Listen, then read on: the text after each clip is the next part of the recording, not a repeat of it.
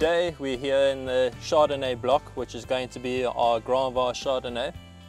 The unique feature about Grand Vin Chardonnay is that we want the fruit to really express itself coming through and we want to have that mineral texture with a bit of citrus and things from the Chardonnay.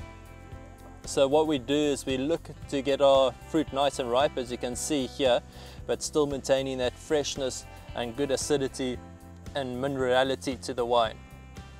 What we do is we take it from here and we'll take it into the cellar and we'll do what's termed whole bunch pressing, where we'll put the whole bunches in like this into the press and press them as a unit.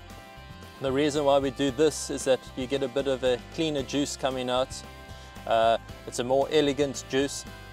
Once we've got it pressed, we'll take it down to barrel and we'll do fermentation in barrel, natural fermentation, 500 litre oak barrels. The reason we use the large format barrels is to get elegance into the wine and let the fruit really express itself and not get dominated by the wood. You must always view wood to be a supporting feature and not the dominant character. Far too many wines these days come out and the wood is really overpowering the actual fruit expression. So you don't get the true expression of what Chardonnay is all about.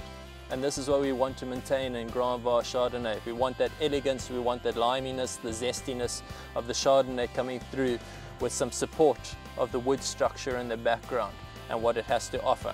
This wine is all about freshness, elegance, and being absolutely phenomenal when it comes to food pairing.